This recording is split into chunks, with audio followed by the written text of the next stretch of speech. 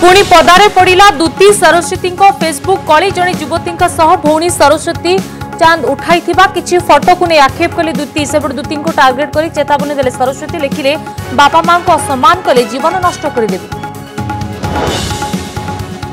ଧର୍ମେନ୍ଦ୍ର ମୃତ୍ୟୁକୁ ନେଇ ମନ୍ତ୍ରୀ ସମୀର ଦାସଙ୍କ ବିରୋଧରେ ରାଲି ବିଜେପି ଯୁବମୋର୍ଚ୍ଚାର ବିକ୍ଷୋଭ ପ୍ରଦର୍ଶନ ସେପଟେ ଫରେନ୍ସିକ୍ ଲ୍ୟାବ୍କୁ ଗଲା ମୃତ ଧର୍ମେନ୍ଦ୍ରଙ୍କ ମୋବାଇଲ ସ୍କାନରରେ ଜିଲ୍ଲା ପରିଷଦ ସଭ୍ୟଙ୍କ ରୋଷେୟା ପରିବାର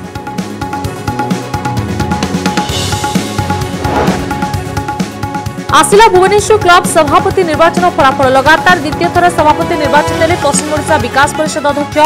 ଅସି ତ୍ରିପାଠୀ ପାଇଛନ୍ତି ଏକାଅଶୀ ଦଶମିକ ପାଞ୍ଚ ପ୍ରତିଶତ ଭୋଟ ଦିଲ୍ଲୀପ ରାଉତରାୟ ହେଲେ ସାଧାରଣ ସମ୍ପାଦକ ପାଞ୍ଚ ଦିନ ପରେ ଆସିବ ଫାଇଭ୍ ଜି ଅକ୍ଟୋବର ଏକରେ ଶୁଭାରମ୍ଭ କରିବେ ନରେନ୍ଦ୍ର ମୋଦି ପ୍ରଥମ ପର୍ଯ୍ୟାୟରେ ତେର ସହରରେ ଉପଲବ୍ଧ ହେବ ସେବା ହେଲେ ତାଲିକାରେ ନାହିଁ ଓଡ଼ିଶାର ନାଁ ପ୍ରଧାନମନ୍ତ୍ରୀଙ୍କ ଘୋଷଣା ଉପରେ ନଜର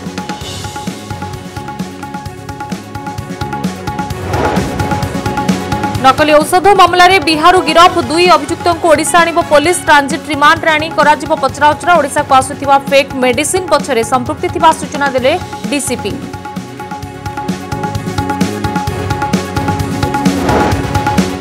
କଟିଆ ସୀମାରେ ବୁଲୁଛି ଆନ୍ଧ୍ରରେ ଆତଙ୍କର କାରଣ ସାଜିଥିବା ମହାବଳ ଟ୍ୱିଟ୍ କରି ସୂଚନା ଦେଲେ କୋରାପୁଟ ଜିଲ୍ଲାପାଳ ସଜାଗ ଓଡ଼ିଶା ଆନ୍ଧ୍ରର ବନ ବିଭାଗ ବାରମ୍ବାର ସ୍ଥାନ ପରିବର୍ତ୍ତନ କରୁଥିବା ସୂଚନା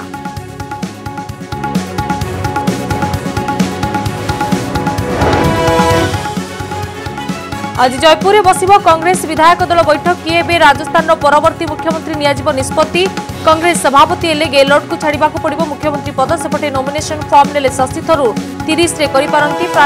দাখল